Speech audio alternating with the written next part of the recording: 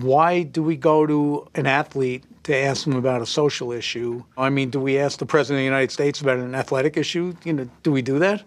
No, we don't, right? I mean, you try to keep people in their lane. That just sounds like an old school mentality right there. That's what we're trying to change. That, man. Stay in your lane? Come on, man. What lane is his lane?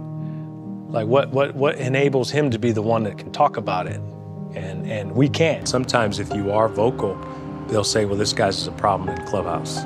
Look at Colin Kaepernick, right? You speak up, his career's gone.